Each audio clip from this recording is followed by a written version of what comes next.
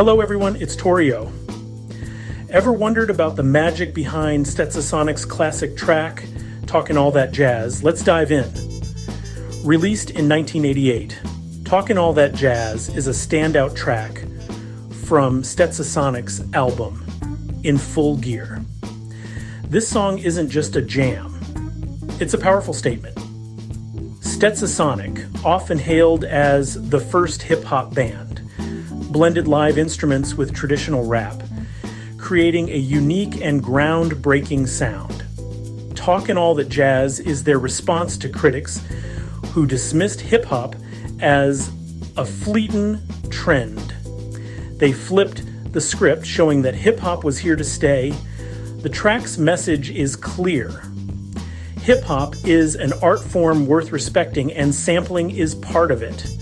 It samples Lonnie Liston Smith's jazz piece, Expansions, paying homage to the genre while pushing boundaries.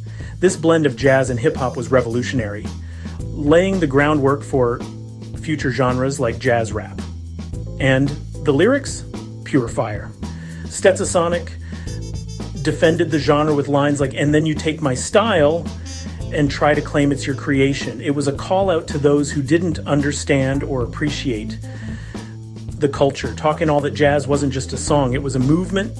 It opened uh, doors for artists to explore and experiment, um, leading to the diverse and rich hip hop scene we know today.